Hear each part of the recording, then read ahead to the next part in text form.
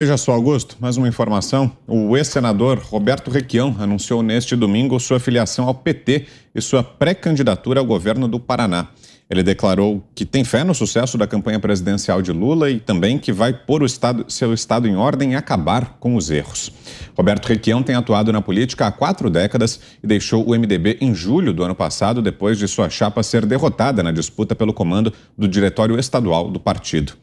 O provável candidato do PT ao governo do Paraná desafiará o favoritismo do atual ocupante do cargo, Ratinho Júnior, que busca a reeleição e tem aparecido com boa vantagem nas pesquisas. Requião sempre fez enfáticas defesas de Lula. No passado, chegou a ameaçar o STF para discursar a favor do petista. Vamos relembrar. Ou o Supremo manda soltar o Lula, ou o Supremo não existe mais. E com o do Supremo, fim do Supremo acaba também o Congresso Nacional, que promulgou a Constituição, que garante que ninguém pode ser preso a não ser com condenação final transitada em julgado, ou seja, condenação sobre a qual não caibam recursos alguns. Não é isso que está acontecendo. Augusto. Bom, ele eh, tem uma, um vídeo que mostra uma cena famosa do Roberto Requião, né? O Lula, ele é ao lado do Lula e o Lula está falando sobre é, a possibilidade de escapar da gasolina, da dependência da gasolina usando outros é, combustíveis, ele dá uma mamona na mão do Roberto Requião, né? e o Roberto Requião come a mamona e até o Lula tem que dizer, olha, oh, isso aqui é mamona.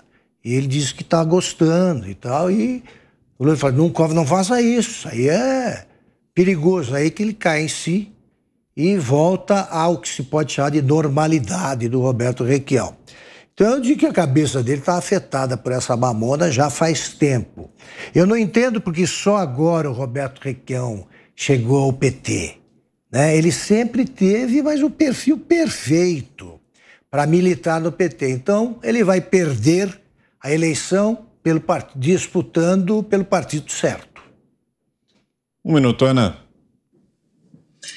Eu gostaria de perguntar ao, ao Requião se essa fala dele também serve para prisões de ofícios do STF, se essa fala dele serve para a prisão do deputado Daniel Silveira, para o ex-parlamentar Roberto Jefferson, ah, para o jornalista Alan dos Santos, ou não? Essa fala dele só serve para a turma aí dele? Acho que a pergunta, obviamente, é retórica, é, mas é o que o Augusto disse lá atrás, né? É, essa gente, né, os, os que estão aí uh, dentro do contexto que nós sabemos muito bem de adorar surrupiar o país, eles vão se aglutinar em volta da, dos mesmos princípios, do mesmo foco, e tomara que o brasileiro não caia nessas armadilhas de novo dessa velha política aí do PT.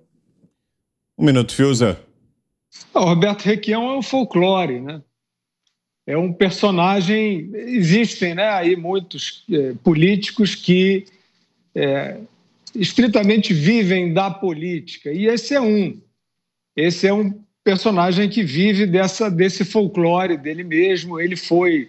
Ele esteve do lado errado em todos os momentos históricos. Eu lembro que no, no período do Plano Real, para você conseguir fazer o saneamento das contas públicas, você precisou do, do, de um embate forte contra o, a, política fisiológica e o Requião era um, um gladiador contra o Plano Real. Então ele está nessa categoria, Vitor. É, quanto mais eu rezo, mais assombração me aparece.